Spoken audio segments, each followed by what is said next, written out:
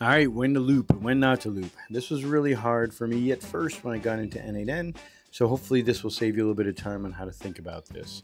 Um, I'll show you when to, how to use it for throttling, how to use it for just dealing with complex situations and data. I'll show you a production build so you can kind of see how I had to use um, both types of looping, the built-in looping and regular looping. Um, and yeah, that's it. I mean, this was a little bit hard for me to get a handle of when I first started, so hopefully uh, this will save you some time. Good luck, and remember, Substack link is below. I share the workflows there, and uh, and just join. That helps to support the channel. Thank you.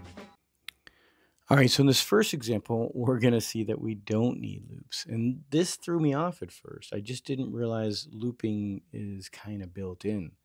So I'm going to get 100 rows from this spreadsheet. Um, and we're going to just go get them all and shove them all into Softr. So there's the 100. Not a ton of data. And this happens. Sometimes I need to transform data from one place to another, or I get a lot of input from one place to another.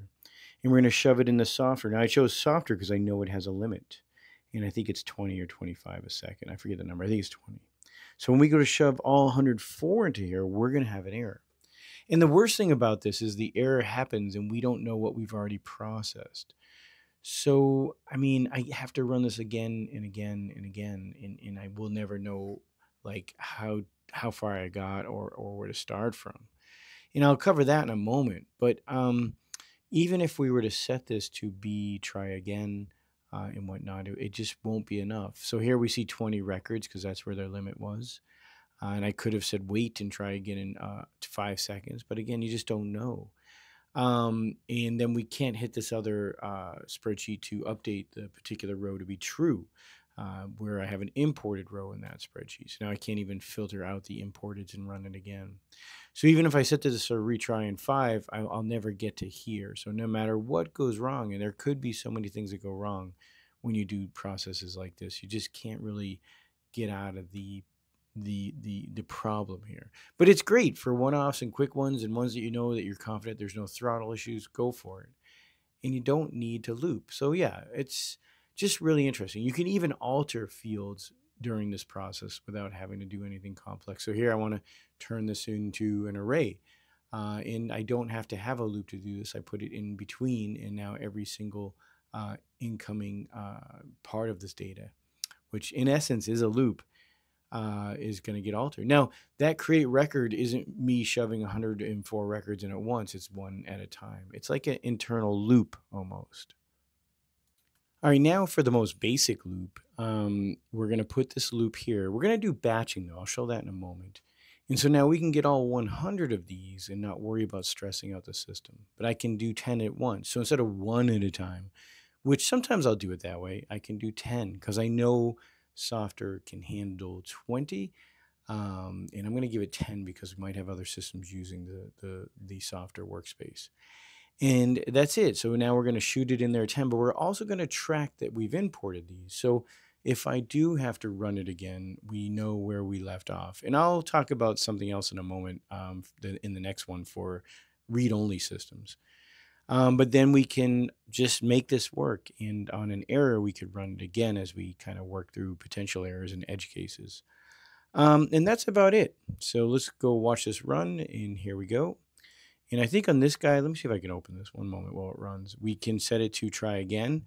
Uh, this one should be try five times, min wait. Oh, that's milliseconds. So let me fix that five seconds. So if we do hit that error, we'll try a bunch of times and let uh, the throttle kind of fade away as we wait five seconds.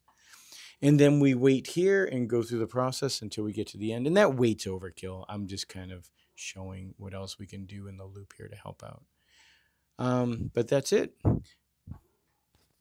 Oh, and we can also see the items are marked done, done there, so that's good. And the genre I'll be pulling in soon. I for some reason it didn't work there, but that's not a big deal. All right, so now let's look at uh, the next one where we're looping and dealing with a read-only system, and uh, I'll explain that one uh, in the next one. All right, in this one we have a read-only example for in this for make believe, and this one's going to be the same spreadsheet, but we're not writing true, so we don't really know if we've hit that record or not. And we don't want to keep writing duplicate records to our system. So especially with loops, it's nice because if you're moving lots of data into a new system, you might hit edge cases as you go. So you want the system or the process to be idempotent so you can run it again and again. So here I'm just going to say if the object exists, if there are results, then we don't want it and we're just going to loop back over. So we hit this guy, we get 104, we batch it like we did before, and then we go through each record. Now, again, if it exists, we, we, we say if found and go back to the loop. If it does not exist, um, we then go create the record. Um, and, and that's about it here. Uh, this might be a good example too, where if I was to redo this again, I would probably set that loop to maybe one, uh, just to make sure my my strategy is is sound. Uh, and then I'm not batching the loop and hitting this multiple times. But anyways, hopefully you can see again, loops pay off in many ways. In this case, I can do a, a, a create or update during the process. So the loop gives you a lot of room to do things. Uh, and I, I'm, i seem to have gotten obsessed in this demo with data transformation. Sorry about that. It just happens a lot. Uh, in the next example, I'm going to show where I had to make sub loops and therefore sub workflows, and that helped out a lot, and, and why that pattern helped out a lot. All right, this next one is production, and I'm going to show it to you because I struggled with this bigger workflow. I had to break it down, and all the stuff I'm showing you now paid off. In this particular one, that get information for software could be 50 or more licenses or 100, and I just couldn't process it here. And not only that, I didn't want to because when you're working on a big workflow, if you break it down, you can then run the little pieces individually so you can kind of see if it works and, and, and figure out what's not working and fix it. So in this case, I moved a lot of the complexity of this first part out into the own external workflow. And then that guy actually has a loop. So you just saw a loop go into a loop.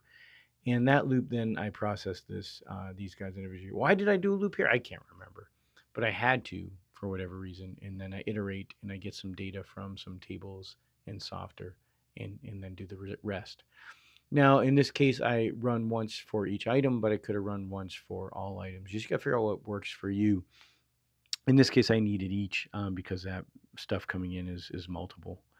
Uh, and then I executed a third workflow here, which just to remind you, that's just to get it out of here. So I don't have to test that in a loop. I could test it by itself and run it. Again, smaller workflows mean you have some space to run them and, and get them working and then plug them in. Like Legos, you plugging them together to make the bigger thing without overcomplicating things. It's always a tricky part when building is don't overcomplicate it by um, abstracting things out too much. All right, I just wanted to throw in that last example you can, so you can see loops again in, in, in action. All right, before I leave you, I just want to remind people that there are decent docs with N8N.